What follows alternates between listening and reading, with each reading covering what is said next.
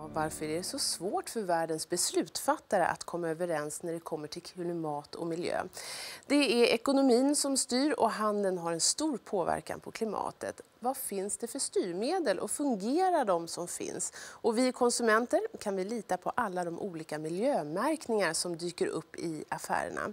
Vår reporter Sofie Persson har träffat Mark Sanctuary som forskar om just det här.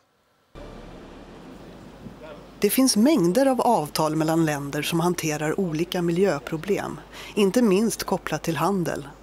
Men det är svårt för världen att komma överens om globala avtal.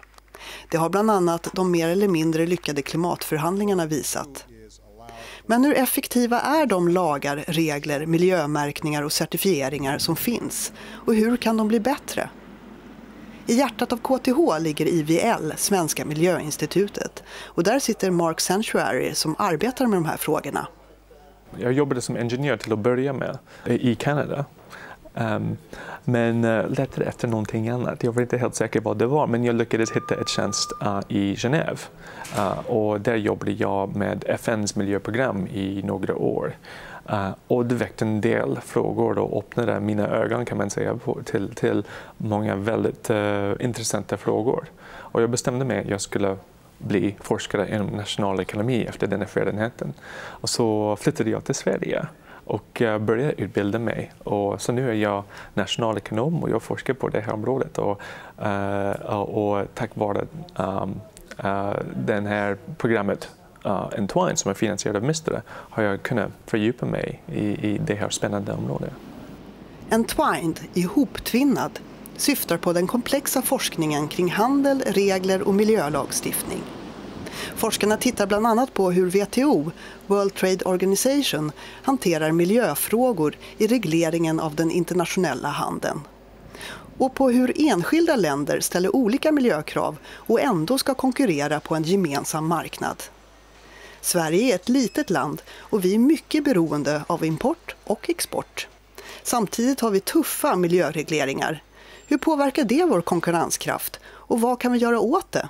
Ett förslag som har tagits fram är att sätta tullar på, på import. Eh, så kallade gränsskattejusteringar.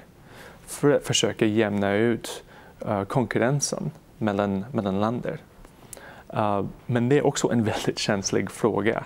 Eh, och just nu är det bara, det är inte aktuellt, men det är ett förslag som lyfts från flera håll för att kunna skydda svenska konkurrenskraft gentemot konkurrens från, konkurrenter i andra länder som inte har tagit samma ambitiösa klimatmål. Men forskarna på Entwined är ganska ense om att det finns bättre sätt att lösa miljöregleringar på. Det är mycket, mycket bättre att försöka lösa det här problemet med en miljööverenskommelse som, uh, som, som omfattar en uh, de, de större länderna uh, på jordklotet. Men det visar sig ganska svårt att uppnå en sån klimatöverenskommelse. Vi kan se av alla de svårigheter vi har haft i, i klimatförhandlingarna i Köpenhamn, i, i Durban och, och, och så vidare. Det går inte så jättebra. Men det finns exempel på globala lyckade överenskommelser. Ett miljööverenskommelse uh, uh, som, som uh, lyfts ganska ofta som ett gott, en god exempel är uh, Montreal Protocol Eh, som är nämnt efter min hemstad um, som syftar att hantera eh, utsläpp av chlorofluorocarbons som förstör uh, ozonlager.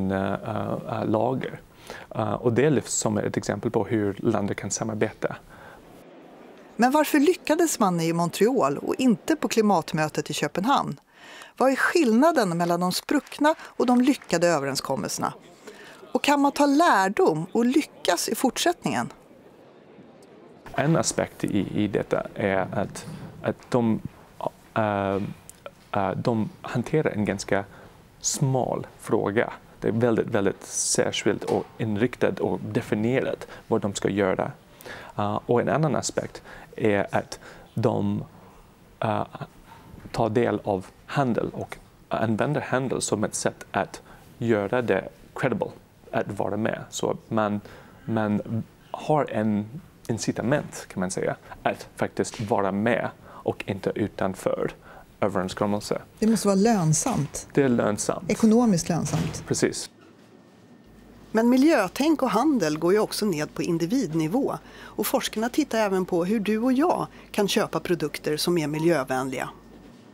Produkter med olika märkningar tar allt mer plats i butikernas hyllor och priserna är oftast högre än för icke märkta produkter.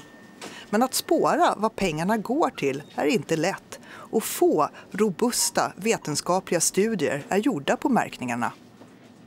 Eh, det är otroligt många olika eh, miljömärkningar och de märkningar syftar på, uh, på uh, olika, olika saker. Vissa är starkare på arbetsrätt, andra uh, syftar mer åt miljöfrågor eller klimatfrågor.